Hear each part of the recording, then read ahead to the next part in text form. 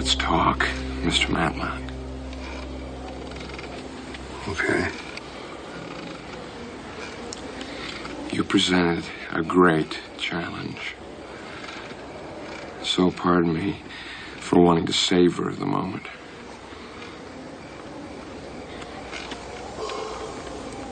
Saw the news? The legendary Ben Matlock really got cut down to size today, didn't he? Being humiliated like that really hurts, doesn't it?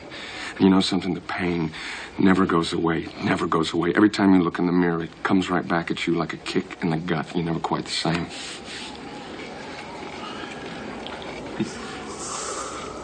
You set up that whole copycat thing just to embarrass me in the courtroom?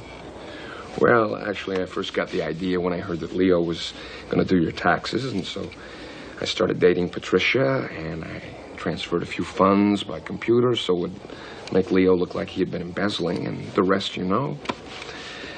I was very sure that you would be representing him.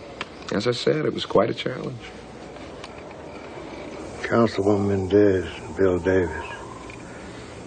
You humiliated them before you killed them.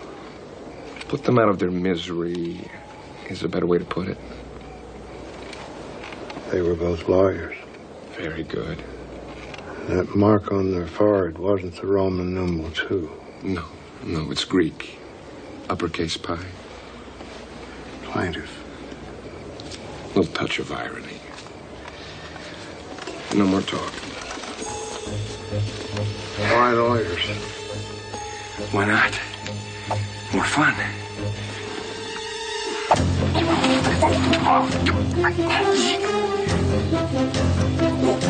Police officer!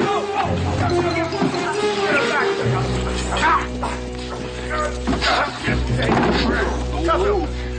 Stay right where you are. I guess.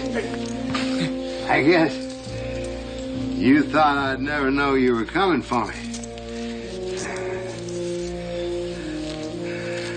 But I pretty well had the whole thing figured out.